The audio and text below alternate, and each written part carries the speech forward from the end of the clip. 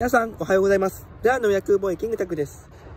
今日は、まあ、外出禁止なのは分かってますけども、外出自外出自粛は分かりますけども、今日はお手伝いのため仕方ないです。今、厚みの方の山菜採りの手伝いをやってます。はい、やってまいりました。それでは、特別にいただきたいと思います。裏のりラーメンです。はい。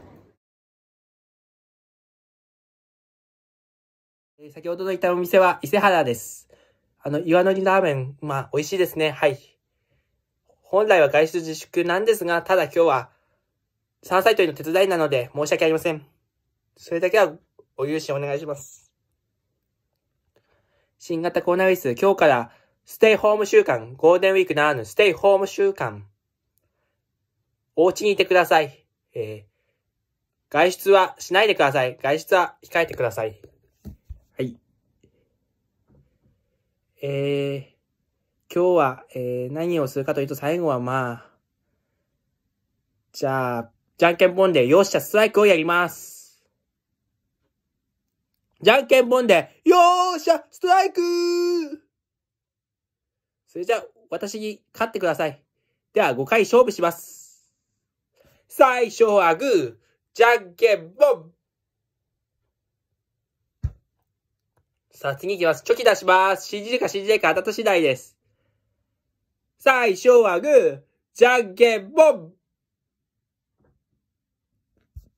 どうでしょうかじゃあ、グー出します。信じるか信じないか、あなた次第。最初はグー、じゃんけんぽん。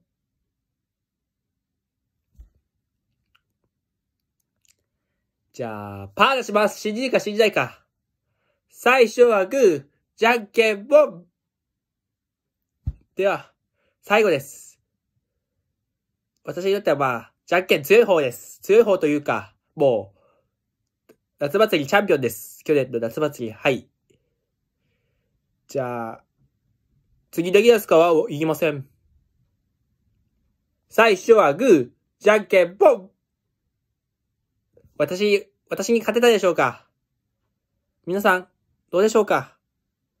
今日の動画は以上にしたいと思いますが、最後にまあ、自粛中は私今、YouTube 見てます。あの、ボーリング選手の生ライブ、毎回まあ見てます。桜井真理子さんが私のことを理解していただき本当に嬉しいし、山田ゆきさんが私のことを理解できて本当に嬉しいです。